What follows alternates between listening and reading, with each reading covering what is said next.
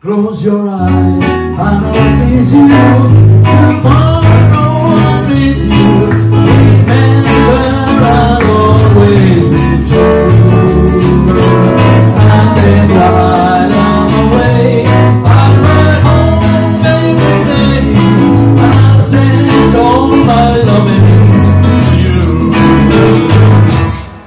Pretend that I'm kissing the lips I am kissing.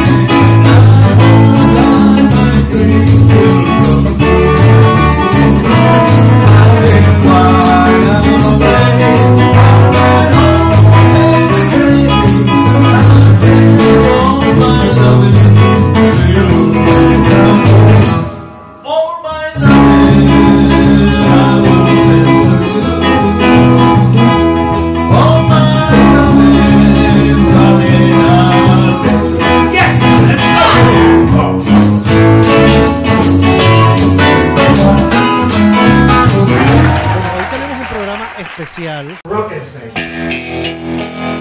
Quiero saber de dónde vienen ustedes. Bueno, mis abuelos nacieron en. Ah, no, no, no lejos. La prehistoria demasiado. Mira, nosotros tenemos tendencia a no decir que esto es una banda, sino una secta Una secta. de adoradores de la música. Me metí en tremendo problema.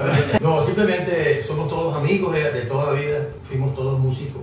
Nos fuimos reuniendo ah, en distintos momentos. Claro, no, estábamos en contacto a través de, la- de las redes sociales desde mucho tiempo. Y estando aquí y teniendo algún talento para la música, pues decidimos compartirlo. Pues y estamos en eso. ¿De dónde vienen ustedes? Bueno, Rafael viene de Maracaibo, Guillermo viene de Caracas, Humberto de Maracaibo, Nacho de Maracaibo, José de Maracaibo y yo de Maracaibo. Y quiero mencionar a Eliabo, otro guitarrista, somos tres guitarristas.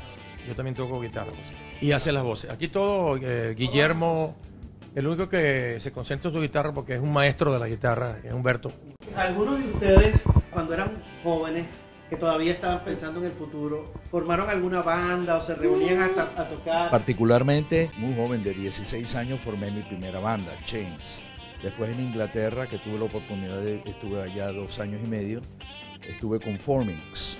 Y luego que regresé a Maracaibo, en donde tuve mi reencuentro con el rock and roll zuliano, estuve con el grupo Los Hippies. En la culminación de mi carrera como aficionado a la música, formé parte del grupo Sumo. Yo estudié en la Facultad de Derecho del Zulia, sí, yo soy abogado, pero buena gente.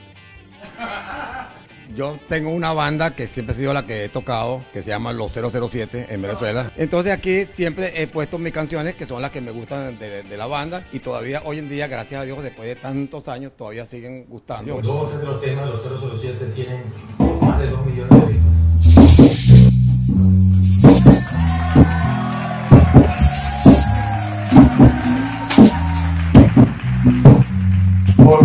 Porque se fue y porque murió, porque el Señor me nació. Se ha ido siempre para poderito, que con amigos buenos para estar con mi amor. Y vamos los dos a la noche, porque decía y no podía ver. Yo manejaba y la maldición. Prendí las luces para leer Había un letrero de televisión Después pasamos sin precaución Muy tarde fue y al frenar El carro volcó y hasta el mundo fue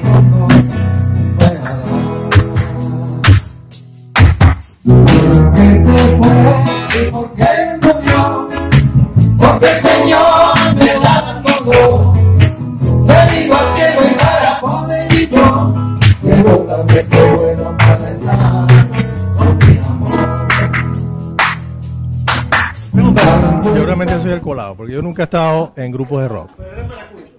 Sí, soy maracucho. Yo lo que tocaba era gaita en el colegio, después aprendí a tocar guitarra clásica, después me fui a Francia a estudiar y tenía un grupo de música latinoamericana que se llamaba Café, muy conocido de Maracaibo. Después monté otro que se llama Menta, un poquito de música más de los 80, o sea, Jordanos. Y ahora resulta que estoy aquí, me he tenido que acoplar aquí a, a mis amigos que yo conocía de antes, pero no, no había como que compartido musicalmente. Nacho, Yo comencé a tocar con una banda en Maracaibo en 1964. El nombre era Los Wildcats. Y luego ah, formamos otra, otra banda con mi gran amigo Eliabo, eh, se llamaba Los Tartans. Compartíamos en aquella época con los Blonder, que era la mejor banda de Maracaibo en esa época. Y ah, posteriormente a eso formamos otra banda llamada Sacramento, eh, ya en comienzo de los 70. Finalmente tuve el honor de compartir en el retorno de los Blonder en 1983, donde tuve el honor de compartir con Tantán. Soy ingeniero químico, al igual que, que Humberto, Tantán ingeniero mecánico. Tú la vas a perder. Si tú la vas a perder. Tú la vas a sí, si tú la vas a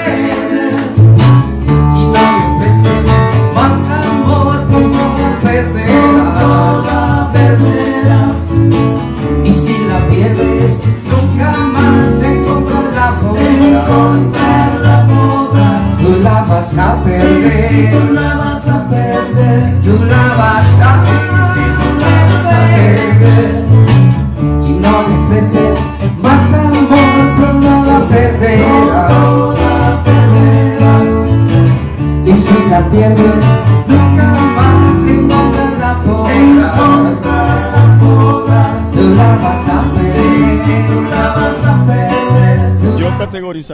Este fenómeno de Rockenstein como una confluencia de tres factores. Una que es la historia de Maracaibo o del estado Zulia, por la feliz coincidencia de los campos petroleros y su influencia cultural que trajo el rock.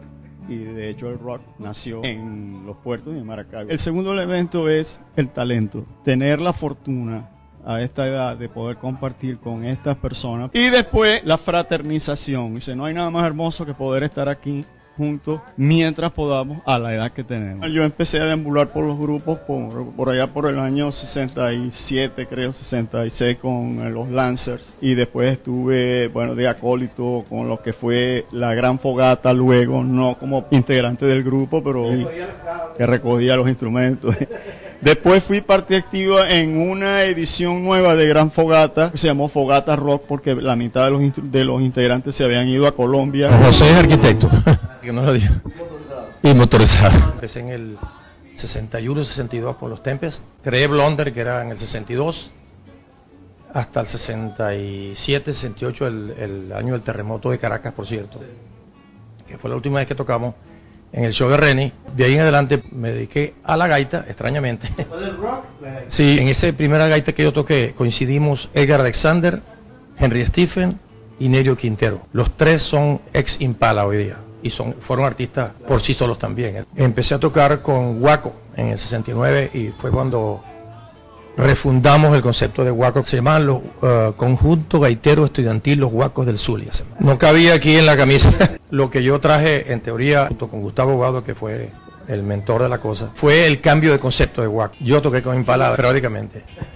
Pero el baterista que teníamos nosotros originalmente falleció hace dos años, eh, Bernardo Boll, que fue baterista de los Blonder y después de los Impala y estaba con nosotros aquí en esta ¿Qué influencia tienen ustedes? ¿A quién, ¿A quién admiran sobre todas las cosas? Todos somos admiradores de Beatles por naturaleza. Toda la vida nos hemos conseguido donde estemos. Y vamos a reunirnos a tocar. Otras decimos vamos a descargar. ¿Por Es qué una- descargan? ¿Por qué descargan? por, por- por la necesidad de, de- de- de- de- de intercambiar O sea, música. no quieren sentarse a tomar, a hablar.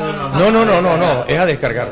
A descargar la música. pues. ¿Hay algún Jam, un jam. Ok, ¿qué es- ¿Cuál es el sentimiento que tienen ustedes cuando están desca- descargando entre ustedes? Mira, que no tienen a nadie. Oxi- oxigenación total. Es un es más acercarse. Yo, yo recuerdo, yo recuerdo. Esta ha sido nuestra entrevista especial con los Rockenstein. Cuando sepan que están en la ciudad, corran a ver a estos monstruos de- del rock and roll. Bueno, nos vemos. Una guitarra escuché cuando solo meditaba.